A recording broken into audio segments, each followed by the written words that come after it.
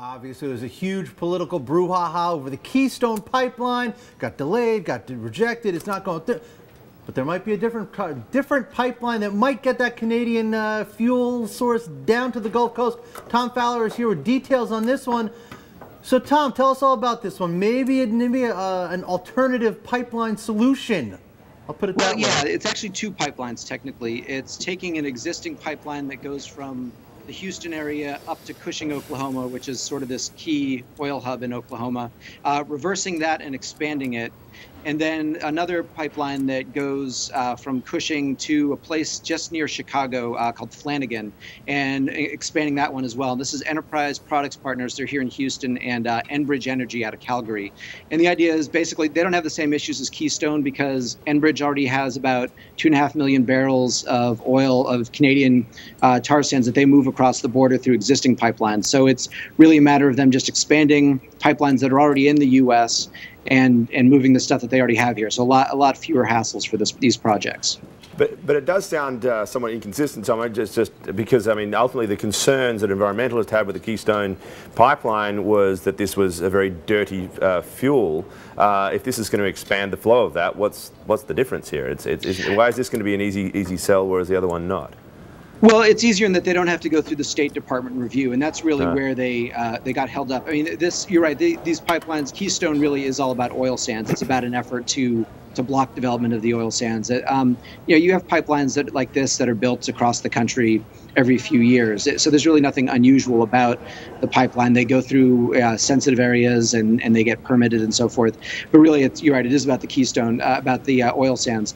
These this would still be carry, covering oil sands, uh, carrying oil sands uh, crude, which could have the same issues. But in the environmental community, though, hasn't been as aware of it because it it didn't rise to the top because you didn't have that same level of uh, requirement. These guys just have to go through U.S. Army Corps of Engineers, which just looks at engineering and environmental permits, and then the uh, the FERC, which just looks at the rate. So it's a, a fewer hurdles to jump through, a lot less politicized. Yeah. Now, Tom, you said that uh, they have the existing pipeline that and we have the map up right now that goes from Cushing down to the Gulf Coast. They're just going to reverse the flow of that.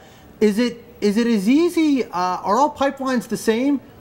Do you have oh, to no, build different no, not at all. I mean, this is um, this uh, pipeline that we're talking about, the existing one that they're reversing, uh, it, it, does about uh, 400,000 barrels going north right now. To get it to handle 400,000 barrels of the heavier crude, they actually have to add pumping stations. And then they're going to build a parallel line next to it on the same right of way that could take another 450,000. That's where you get this 850,000 barrels coming coming south out of Cushing. So no, it's if you're handling heavier crude, you just need a lot more horsepower to, to actually push it down the line. Now, did this plan emerge before the Keystone before the Keystone thing blew up? Is this sort of in a response to Keystone, or were they just working on this on their own, completely different?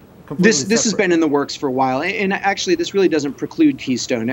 There's probably there is there's enough oil production in from Canada and the U.S. that could hand that both of these pipelines could stay full, and that's probably what is going to happen. You're probably still going to see the southern leg of Keystone from Cushing to Houston or to Port Arthur, rather, Texas, get built. But this is a project that's been in been talked about for a, a year, more than a year actually. There, these companies all have these, you know, have different uh, different customers that are trying to get their product to the same place. So this this has been in the works works for a while. It probably it might have been helped a little bit by Keystone's difficulty. It basically means they're probably going to be on up and running a little bit earlier than them. Uh, you know, Tom, one of the issues I understand with the direction of the pipelines and, and the, these plans is the is the is the kind of glut, the bottleneck uh, that exists at Cushing.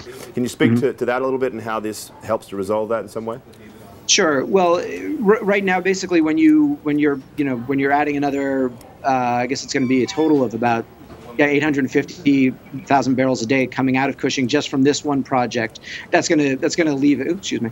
That's gonna alleviate it uh, quickly, and Keystone's going to follow with about I think they're going to be 700,000 barrels coming out of Cushing as well. So essentially, the you've had lower prices at Cushing, which is the sort of the main. Whenever whenever we're quoting U.S. oil prices, it's the Cushing price, and that's been trailing behind Brent, which is the overseas international oil price. They're probably going to come a lot closer together once these projects are actually up and running, but that's that's still a good, you know, uh, we're talking about it for the full capacity about 2014.